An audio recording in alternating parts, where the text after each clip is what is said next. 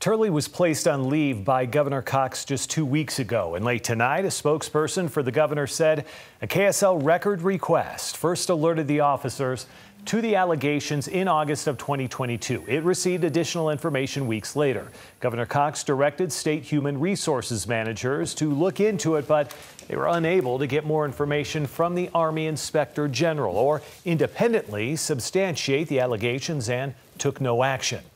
Cox's spokesperson saying tonight that the office had to wait for the results of the Army Inspector General's investigation before taking official action. The Army confirmed to KSL it ended its investigation on the findings of this allegation substantiated